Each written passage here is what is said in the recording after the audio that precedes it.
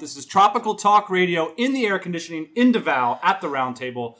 Let's play the intro music.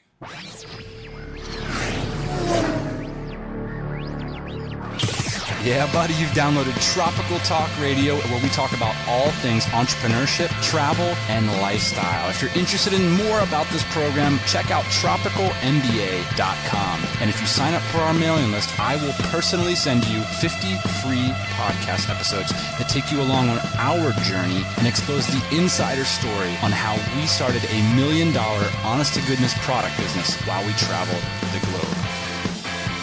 You guys are looking at me like a kind of whack job. Podcasting is a performance, people. I thought the music was coming out. I thought we were just Yeah. waiting for the music. I don't hear any music, man. All I know right. we're gonna hear on the show. Okay. Like a drop. All right. Here's the, okay. Here's the deal. I'm not going to introduce. Uh, I do not have classy group of friends. We this has been very much gone over on the podcast. I- Instead of me introducing you guys, I want each of you to give a sales pitch for one of the products or services that you're currently offering. How about we start with uh, you? Yeah, outsourcing for startups. You can uh, check out our site. Oh, come on. No. That is the strongest title I've ever heard. How about That's, this? that's I- a I- sales oh, pitch. yeah. Let me show you how it's done. Back up, back up, back back up a second here. Alright. I'm talking about elevator pitches. We just met in the elevator. I know I'm putting you a little bit on the spot, but just tell me who you are, what you sell, how you help people. I'm Damian Thompson. I'm the founder and CEO of Linchpin. We help startups gain new users faster, retain subscribers longer, and maximize profit per sign up on the email list. Hang on the rim, Damian. What's Uh, up? What do you got, Magnotti? My name is Joe Magnotti. I have two sides of my company. One is outsourcing for startups, which I'm going to let my business partner talk about. And then the other is AdSense Flippers, where we help people build niche sites, get them started on the internet for free.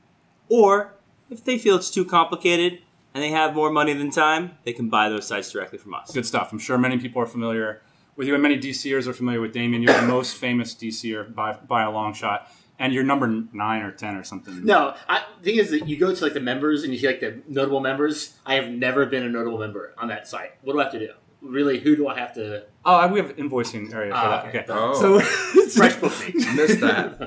JC. I'm Justin Cooke. We help aspiring entrepreneurs and people looking to build sites. We show them exactly how to do it so they can quit their jobs. No, you're outsourcing the startup. Oh, guy. that thing, yeah.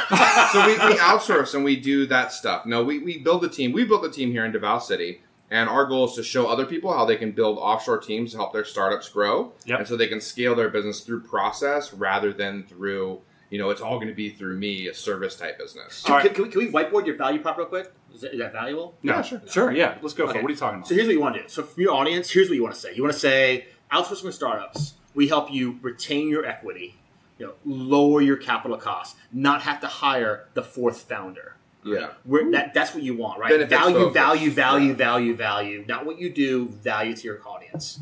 and I'm Justin Cooke, and I'm a badass. Speaking of badass, let's get on to uh, you guys have grown this blog that I'm absolutely in love with. I call it the, the New York Mini Times of AdSense.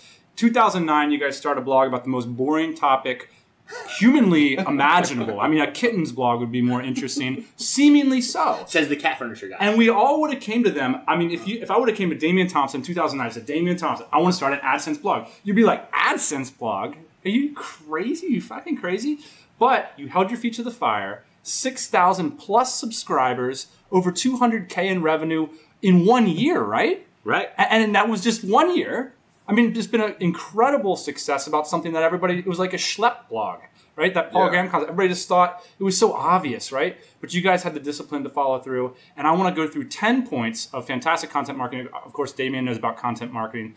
So I want to throw some ideas at you guys and get sort of an inside view of what the success mindset is behind, you know, this, this tricky little nut to crack called blogging. Cool. Hit me up. All right, ready to go? First thing, you guys have Hit me up, man. Do you want to David's crying right now. Would it be good to talk? Okay, let's talk a little bit about podcasting and blog personas somewhere. in- Authenticity. Let's talk about authenticity yeah. on the podcast. Yeah. Because anybody who knows Joe knows that he, yeah, he's a pretty hard guy, you know. Uh, but he, he's really nice when we turn on the mic, and we get off the mic, and he says, "Go fuck yourself." He's not hot money, he's hard money. Hard money. I heard that one thing you said about me on the podcast. All right, hold your feet to the content fire.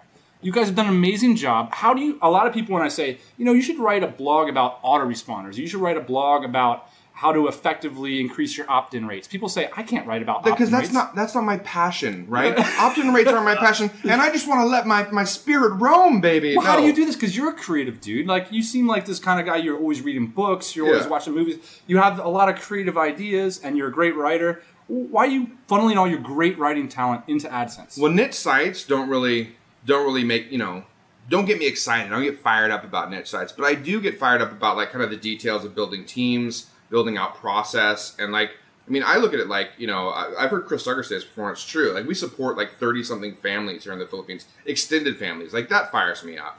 Um, so that's what we're able to do by s- staying singularly focused on niche sites, right? Right. So if someone's talking about opt-in, talk about opt-in. Like really dig into that subject and become really good at it. Know it really well. Talk to the other experts in the area and be the resource for that. But, al- but also, people, people misunderstand the passion thing, right? The reality is, is I know Joe and Justin very well, and both these guys get to follow their passion every day. It's not AdSense. Joe loves process. Joe loves operations. Joe gets turned on by figuring out a better way to how do I remove one step in a nine-step process to eight steps. He gets excited about that, and he gets to do that in his business every day. Justin likes to create. He likes to connect. He likes to. So it's not the subject matter that matters. It's the do you get to do the task. And I pimp this book all the time. There's a book called First Break All the Rules. Ma- Marcus Buckingham wrote it. The idea is there's 11 things. One of them is do you get to do every day what you love and enjoy to do?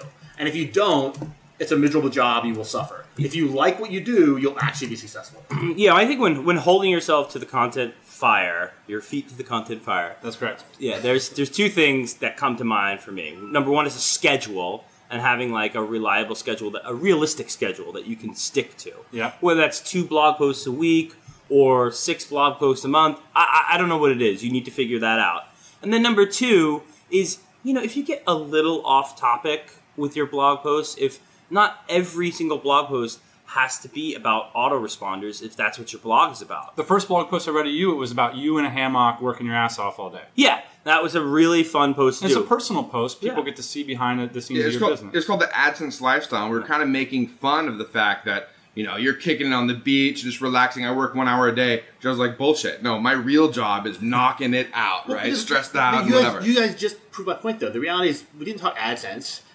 You said your, your thing was, I want to connect. I help people raise their families. If you connect with people, Joe's like, you got to have a process. You have to. How many posts do you have? So You- here's my whole idea: is that it, right? if you have a personal blog right now, you're blowing your blog content load because all of those posts. Hey mom, I went to Cebu this weekend. Hey mom, check out Davao City. That could all be f- framed up underneath your business blog, bringing you leads. Right? Yeah, we just mentioned that in the podcast that we're going to put out here soon about our trip to Cebu. And we're talking about, mom can listen to my podcast and hear about my trip to Cebu, but I'm also talking about it in terms of networking with other entrepreneurs Yeah. and how that affects our business, right? How important was it, you guys? For this is point number two to have a great product behind your blog.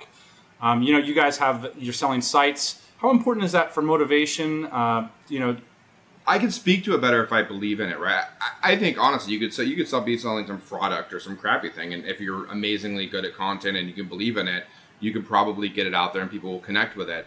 Um, but me personally, I couldn't speak to it as well if I didn't give a shit, and I have to. It has to be good for me to give a shit. Yeah, and let's let's face it, money helps the situation. right? Absolutely. Yeah, and and if you have something to sell and there's you see that money coming in, you're more motivated to stick to your content schedule. You're more motivated to come up with creative ideas that you can put on the on the brings me, website. brings me to a third point, which is what does it mean for you guys to be authentic, honest, and transparent?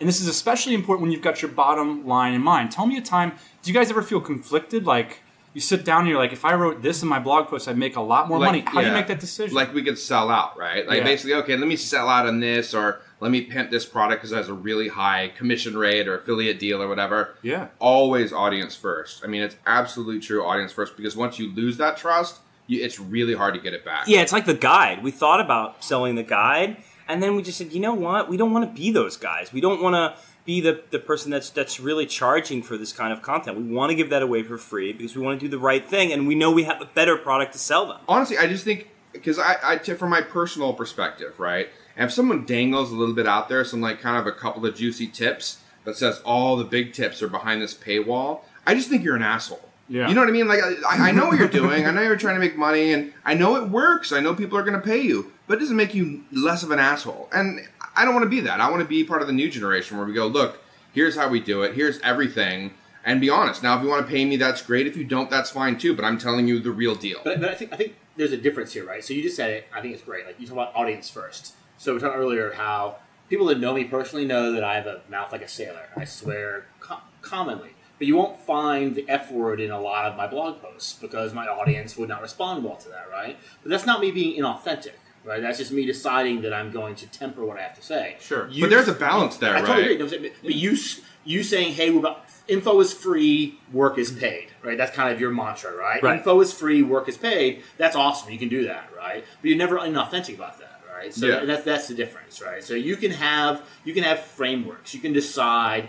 You know, in my personal life, I'm like this. In my private life, I'm like this. In my Sure. work life, I'm like this, and not be inauthentic, You- right? You know what's funny? Like, So Well, it depends though. If you say like I'm only out to help people, you know, and you're really trying to their- rob people and steal them, then you're a bad guy. Yeah, I mean, there's there's kind of a weird balance you got to strike. Like, are you really the guy who's trying to help as many people as possible? If Or are you, were, just then why isn't help all- yourself? Yeah, exactly? Yeah, So Joe and I, uh, you're talking about like separating your business life and personal life. We used to be completely separate. Like before we came to the Philippines, like you know what we did, personal life, professional is completely separate, and like we've really broken down those walls because really it's you. And if you're going to have an audience and people that pay attention to the shit that you do, like you have to, they have to know you. You have to be a part of that. You have to be like this symbiotic relationship between you and your business that you just you can't keep those walls up. You know what I mean? Yeah. there's always problems both ways, right? So I have two employees, both of them I would consider friends. I only want to work with people that I respect, that I think are fun, and all the rest of it. But it's, it's a challenge both ways. Right? Yeah, and that doesn't mean you're you're you're you're hanging out your dirty laundry either, you know, Sure. on the podcast. But Not yet. Not yet. We got point number seven coming up. All right, point number four. Respond to every email. You guys are telling me you get on tons of e- uh, inbound email. What's your policy when some bonehead writes you an email saying, Justin Cooke, I read your thing last night. It was really inspiring. Okay, so first off, I just got my AdSense set up. Can you click through to my site and tell me what I should do? What's your response? So, so at first, I didn't know that this was a thing, right? And then I, maybe six months ago or something, I heard Gary Vee talking about when he started off, he responded to every single email, and but I didn't even know. We, we just thought that was good policy. Yeah. So we'd respond to every single email we get. And you're right, some of them were kind of donk emails, whatever, and some of them were just really friendly and really nice, and I would respond to every single one. Sometimes it'd be short, and sometimes it'd be like point by point. There were some though where like you know it's so there's a very small percentage of people that try and take full advantage. I literally had an email that said, "Okay, here's my eight point email. I need you to respond in detail." like that was that was the email. I was like, "Wow, this guy." It was kind of cool. Like incredible. he had It's like- balls that big to like just like, "Okay, just just lay out everything to Give my me answer." five question." hours of free consulting. and so and so our answer to that was we created a, a services page, a hire me page. Oh, cool. And like I still respond to everything. I don't charge anybody, but like if it gets kind of ridiculous, or they want more work than I can kind of respond to, then we'll just send them to that page. I like that. So, so combination of email and blog is a great hammer for products. Your tink, tink, tink. You get ideas from your from your your peeps. Yeah, but but I think there was something that you said to me when we were on our little trip uh, that was interesting. Even the 14 point guy. There was a lot eight- of things that were interesting about that little trip, by the way. There was a lot of things, this is TTR, right? and and so Whoa! Yeah. All right, hey, there's no editing here, people. Keep it together. yeah. Anyway, so the eight the, the eight point guy. If you do something helpful, right, and then you can kind of say, hey, or we can yeah, I can hire me, and then I can answer all those points for you. When you guys got started, point number five, how did you differentiate yourselves in the marketplace? When you get started, were you like, you know, oh, there's this blog here and there's that blog here, and we got to be different from this guy this way? So there were a couple others. A lot of it was like fragmented. So there were like, you know, the warriors on the warrior forums that were, look at me, you know, I, I have 10,000 posts on the warrior forum and they were followed there. But we said, why don't we create like kind of a central place for that? Some we kind of like uh, aligned ourselves with someone. So for example, Spencer from nichepursuits.com. Yep. We aligned ourselves with him, started looking at his content. And when he would come out with a post, like I would say, okay, how can I how can I take that to the next level? Not recreate it, but like how can I advance his arguments, right? Right. Or, or argue with his points, right? But like it's it's kind of like a we do like a back and forth, and him and other sites too. Uh, we'd invite other people on that had great points and have them do battles. So you them join the debate. conversations as an authority. Yeah, But, exactly. but it- it's also like you know we talked earlier about this that innovators make millions, inventors die broke. Right. Yeah. The reality is is that it's not about coming up with the next big idea. It's about saying, "Hey, I like what they do. I think I can make a different angle. I can So for an little upstart blogger, they should listen to Mixergy, and they should be writing response posts. Absolutely. Exactly. You can't Absolutely. blog in a Here- bubble. You can't Right. blog in a bubble, and I think that that's something that people think. Oh, they stick to their content schedule, but it's all about me, me, me, me, them, them, them, them, Yeah. and they don't go out there and read other things that are similar in their niche, and you know, like link to those things, show, interact with those as if their content were the only thing you would ever. Uh, once you listen to this podcast with my actionable five tips, you'll That's never it. need to consume any other content That's it. again. Just just read me. in fact, if you, There in are fact, other you- podcasts. In Yeah, fact, if you do, it's it's the resistance. Yeah. yeah, yeah. All right, guys. How how do you have great customer service? Because this is the way you guys make a lot of sales, right? Once you get people on the hook from the blog, what's the customer service policy look like? Well, Joe normally handles customer service, so anytime we get a new customer and they pay us, then he'll deal with uh, you know following up with them. And the great thing about customer service, or one of the interesting things, is that the people that tend to pay you more um, require less customer service. It's normally Yeah. the lower dollar people that you know that cost you a lot in terms of time. Um, Justin and I were very lucky in that we had a lot of customer service experience in the corporate world Sure. before we got into this. So I kind of just took that really high level professional approach to our site buyers. How long from starting that blog till you had a buy now button up there? What was the timeline there? Uh, I think we started putting a, s- like a basic spreadsheet up uh, about four or five months after we got it started. Is Um, that right? A couple, a couple, only a couple of months. So, so we started the blog, and then we had already just started. We were doing flip auctions. So actually, originally, we had people from the blog. We were driving traffic to our flip auctions because we would they would bid up, and that's how we were getting the higher prices on Flippa, right? And we said, why don't we make this a two way street? So on our flip auctions, which already has its own traffic, not Google traffic, it has Flippa traffic. Right. Why don't we put some links to AdSense Flippers so they know about our site as well? So it's this great like two way street where we're pulling in Flippa buyers on onto AdSense Flippers and sending our readers off the bid on our auctions. So then when we started selling the sites on our own page, it was you know so natural. Another thing is like you know position your blog on a bus- in a business ecosphere. So you know, like you were saying, like don't or don't have your blog out in the middle of some cornfield somewhere. But you want to be on the thoroughfare. So there's hmm. already traffic and interest in things like Flippa and AdSense flipping sites. So if you plug in your site on that highway, if if you're selling aftermarket parts, right, for for cars or whatever, then you should be all over the car forums and be the guy, be that Sure. the go-to help guy, right? And then you're answering questions, helping people out, and they go, "This guy knows his shit." So that way, when they click on your link from that forum, they go, "Wow, okay, here's where I can get even more information." That's an important point. So your your blog, your you understand like this the free media, and I run a content marketing agency, right? But your free media, stuff you put out into the world for free, is important, and it shows your authority, shows you know what you're talking about. The reality is, marketing is customer service. Customer service is 20th century marketing, right? Every customer that you don't service correctly.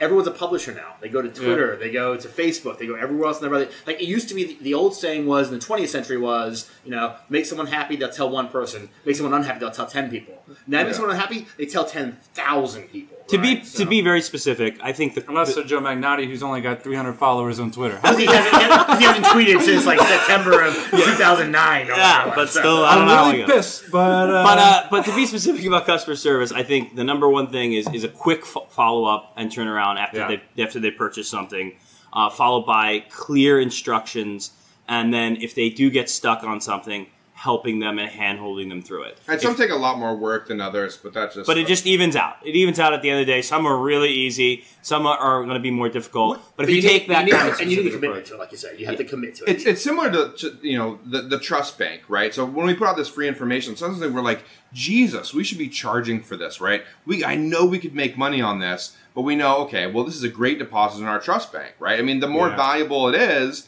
and the, the the freer it is, the more we're putting into that trust bank. So it's the same thing with customer service, where yes, you may be going out of your way to help this guy, but he may be the guy who comes back and but spends customer fifteen service is grand even more you. important than that. Like, Yeah, yeah. These are this- buying they- They, have, customers. they gave you money, right? Yeah, they, they have put money in your PayPal account, Yes. right? Those are the guys you go to the ends of the earth for, right? Yeah. That's the, they, I- I- you become referable. You become they, that's how you build. All right, your right, I got. I got to break it up. Break it up, boys. Lucky number seven. Have a list strategy. Oh, You guys took the internet marketing Kool Aid right out. You know, at the beginning, you got to have the list set up. You got to have an opt in bait, and you guys built a list. But I want to hear about where did you screw up. I mean, this is the place where you're making your money. Are there things that you've done with your list thus far that you feel like you should have done differently? And uh, okay, so while you're thinking about it, that's a tough one. How do you use it? Like, do you now feel like you should advertise every blog post that you write to your list? I mean, when when in which do you engage Can I, that? can I be the outside consultant here? Because this, I do think they screw up here. Like they have such an amazing. okay, list. first let's describe describe what they're doing right oh, now. Oh, okay, let's so understand they, that. Here's what they've done. They built a list amazingly, right from the very beginning. Built a list and delivered value. They wrote that whole how to build a niche site empire list, the, the booklet. Which I mean, that is a That little that is a couple pages. That is a forty-seven dollar paid ebook on almost anyone else's site, right? Yeah. They had they brought their intern out. They spent, I'm going to guess, roughly real money five, six, seven thousand dollars to create this book, right? And in Western terms, we're talking probably twenty thousand dollars of investment to build this amazing, truly readable. You know, just I mean, it is it is it is the only ebook All right, all I've read. it's good, it's good. No, no, I'm a big fan. So they've done a great job. They opt-in bribe, amazing. Got people on list, amazing. Done a great job, amazing. Great content, consistent content. They do not market that list anywhere near enough. They should market more. They should be better at saying, "Hey, here's what, our new thing. Here's what we're doing." So But you guys are out of inventory, isn't that the issue? No, no, you? but You they've got- uh, they've every- got- Yeah, but we got the new brand. So we just we launched outsourcing for startups. Uh, oh, IntelliTheme, right? Which we, we didn't talk about that much. I seriously, I sent an email to our list about IntelliTheme. You didn't launch. Drop- yeah, yeah. w- w- When we the drop twenty live- grand in development cost to build the, the, the most Im- impressive testing theme in AdSense world, and then didn't launch. Yeah, well, we didn't really launch, but we we sent an email out, and we we could definitely be more aggressive about that. By the way, CTR is up twenty percent Yeah. after after activating Across that. That should be an email. yeah. That should be an email. Yeah, that should be an yeah, email to your Watch six me know how to touch the table, man. it's obvious you're on episode number two. I'm the noob. I'm the noob. I'm the noob. That's linchpin.net. All right. so you know, I would say one thing we did with our with our list, which is a really minor thing, but one thing we did uh, was adding a pop up. I mean, that got us a lot. Oh, more you yeah, did the have a- Uh, You know, it's funny because, like, yes, that definitely got us more signups. I'm not sure how valuable and how well those those signups uh, stuck. So even your number of signups may go up, but the value in those signups may not be as strong. I don't know that that's the case. My my I'm So so, my guess I'm, no, I'm so, I'm, true. I'm so excited. Okay, if I'm, you gonna- I'm, ran- I'm going to if you- burst back up, back up, back no, up. no, If no, you no. I know Lynch- David's Lynch- exploding Lynch- right Linchpin episode three is about how you build your list and the fact that tricking people onto your list through pop-ups and welcome gates. Yes, you build a list, but does that list become Sure, a sure. vanity metric? Okay, Whatever. question. If you had ASF's list, since most of us are on it, Yep. and so we've seen what they do, what would you do? Justin would write a our CTR is up twenty percent. How That- often? That is amazing. So- at least once a week. You have to be. You have to send an email send once an a email? week. uh, probably twice a month. Not even. Not even. No, Once every three weeks. Once every three weeks. Once every three weeks. Hmm. Other than other than direct response, I'm on Twice your a- yeah, yeah, I'm on your list. Other than a hey hey we have new sites. That is not the way to market your list. All right, You- all right. So we got it. Right, we got Yeah, it. yeah. Now, point, That- num- that point is- number eight. This is Tropical Talk Radio. This isn't wax on forever all night long. Number eight. We got to get onto this podcast. I love busting your balls on my show, buddy. This is fun. uh, p- start a podcast before and after, guys. How has the podcast affected your brand? Uh, heavily. So I, I kind of view the podcast as uh, taking people down like the the listener or fan funnel, right? So people that were just kind of like casual readers or listeners became like regular readers. Regulars became fans. Fans became super fans. And so the people that listen to our podcast, especially the regular listeners, whatever, are huge fans of the podcast, and they feel like they know us. Yeah. So when they email us, it's kind of like this. Hey, love what you talked about here, and I'm like, wow, this guy. I mean, how do we, did I did we talk about that six weeks ago? Right. So they know stuff about me. I forget. You know, it's crazy. Uh, it's great for. Has for it had like a bottom line connection. impact that you guys have noticed? And Yes, but it's one of those like intangibles. So I It's a- mean, yeah. people people have no problem buying from us though because they listen to our podcast. Or they're like, done. Yeah. Yeah, you're selling something done, and that's why we're pretty careful about like you know pr- like over promoting things and not really like wanting to waste that trust. You know what I mean? Yeah. I would also say the one thing about podcasting in terms of blogging, I say this all the time, is it's much easier to podcast for me. it's cheaper than writing, right? Yeah. You would agree with that, Yeah, right? not even cheaper. Like you get the more authentic me because I, if I Yeah. write, you're going to get my third draft by the time it's on the on the website. Sure, right? yeah. When I talk, I Unedited. Just talk. Yeah. Yeah. So, is, is if someone doesn't have uh, an audio portion of their blog, is it just they're totally leaving it on the table? Is it a totally absurd thing? I mean, the problem is, is that having a co-host really helps. I think having roundtables, having other people on the show really helps. It's very hard to do a single podcast all by You're yourself. saying this would be shit right now So- if it was just me? Is that what you're saying? I'm saying it might be a little tough all by yourself. You all have to be pretty damn engaging to run a successful podcast by yourself. You have to be Yeah, yeah. really engaging, and for most people, it's not a good. But I would prefer that than another shitty interview podcast. So I don't know. No more interview I podcasts. take, a, I take a shitty interview podcast over a shitty, No Well, monotone, talking boring. points. I'm dude. selling my book. Here's my 12 talking points. You're the 12th podcast I've been on. No way. I don't know. I'll tell you. I'll tell you what. Uh, th- you know, the biggest thing is like the, with solo podcasts, it's not about charisma or talking fast or any of that stuff. It's about doing some freaking writing. And you can't just flip on a mic and piss out something interesting. You have to sit down and do the hard work. Correct. It's going to be just as hard as writing a blog post if you're not having a conversation and mining information from other people. So, all right, No, sorry, sorry. I'm, I know you, you cut me off, but this is a great point. Like this, the TTR is if you do, do so say yourself. Yeah, but no, but TTR is your like much less polished podcast, the ones you do. Yeah. But even this one, we spent thirty minutes talking about beforehand, right? So I mean, like, there's no such thing as flipping on the mic and just going. I wish there were though. Yeah. Yeah. I'm just trying to. I was like clicking back. I would be very good at that. You guys, not so well. All right, number nine. what is your weekly time commitment? So for people, uh, this is the biggest objection to starting a blog. It's the dumbest one, but it's it's it's very.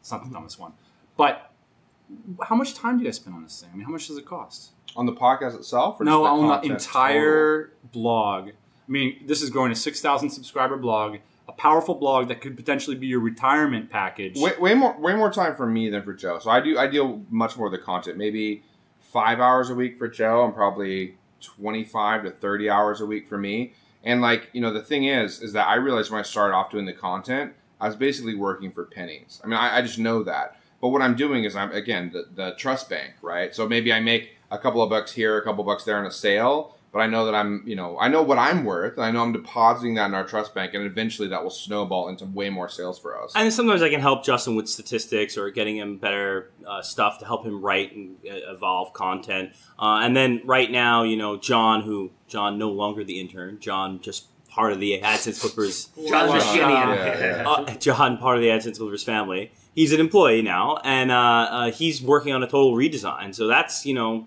he's working on it 25 hours a week. So um, yeah, we spend a lot of time and effort and energy. So it's a full time gig. It's a full time gig to have a, a world class blog. Yeah, I mean, you spend time or money. So I know for my blog, Yep. you know, the reality is that I pay people, my guys, to post on the blog. So they spend six or seven hours per blog post. I spend an, hour reading it. I've got a, a full time editor who edits it. I mean, so probably ten hours per blog post. I mean, there's money. There's money, and I actually pay for that time. Sure. Or otherwise, I would invest my own time. So when I write, it's investment of time. But if you're not willing to invest time in your literally your your brochure, your online internet interactive brochure, then you're not serious about what you do. All right. So final question, because you know you're investing money in this. You invested money for pennies. You believed that the bank would still be there when you went to withdraw. How do you determine dead on arrival status of a blog? A blog that you might blog for three or four months, uh, and it's just absolutely not going to go anywhere. How did you have that confidence when you're getting started that it's going to mean something? Well, it's hard because you don't. I mean, people talk about, well, make sure that you have the numbers and that it's going to work out, but you won't know until waiting all that time to, to see it work out. But there are like signs, right? So like people downloading and like getting emails like, "I love this. I've been looking for this type of thing." Comments so where the people, emotional. comments where people are connected. They feel connected to us, and this is before we were making a bunch of money through site sales or whatever. So I, st- I saw that there was something there before we'd actually made any real money on it. Um, this wasn't our main gig either, and I think that helps me. Is that like I was doing this more Yeah. because it was interesting, and not because I needed it to you know get bread and water so I could survive. Damian's having a seizure. that is the most important thing of the entire thing is and everyone talks about it and everyone it's a, it's a cliche and people write a blog is not a business right you have to have a business if the af blog did not take off you guys still would have been building niche sites and selling niche Oh, we sites be talking right? about it. You, you'd, be, you know, you'd be selling a flipper or something else but, Yeah, yeah. but your business was building a process to build profitable niche sites, right? Yeah. Your business was building Dan's business was building e-commerce businesses, right? So the blogging is a outreach method to attract visitors, potential clients, customers, whatever, but that is not your business. And it is so everyone says It's a it. marketing arm. It is, it, it, it, and it's only, only a piece of your marketing, right? The, the reality is that is that everyone talks about it, and like blogging is not a business, and yeah, yeah, whatever they want. No, blogging is not a business. I run a content marketing agency. Blogging is not a business. If you don't have my customers are software and SaaS companies. They're not blog companies, you know. The blog is Yeah. how they attract new users to their real business. You know what's interesting? You have so, to have so that. with AdSense Flippers, like we weren't requiring on that to pay our bills, right? So so that was, I think, a real advantage for us. But I, I see other people that you know that drive that they have to make money with this site is kind of what led to their success. I mean, which is it? Is it like is are, are you better off? It can if hurt you too, right? Because if, you, if you're too needy, if that if that resolves itself in hustle, you can't then it's good. deposit in the trust bank because you're always making withdrawals to pay the bills, But their right? blog didn't make them money. They weren't sorry. They, they weren't making the, Tap the just- table. just the new again. keeps hitting the table.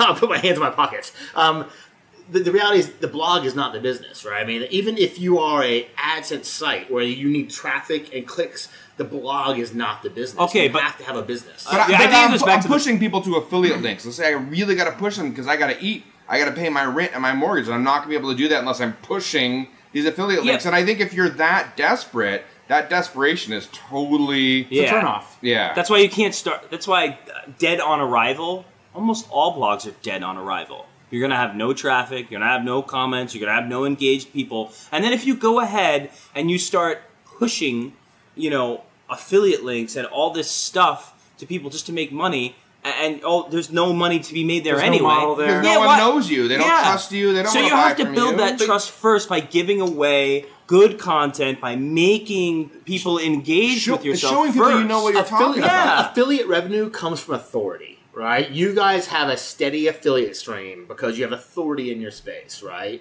If you were just like, hey, hey, hey, please buy Longtail Pro from me. If I, had- if I, if I had Longtail Pro, please buy from me.com, no one's going to buy that, right? All right, if you guys want to see Dead on Arrival, check out tropicalmba.com. We've got the links to all these good looking gentlemen's blogs there and the notes of everything we talked about. Thanks for being on the show, guys, and for being great supporters of what I'm doing. Keep me motivated to uh, keep moving the ball forward.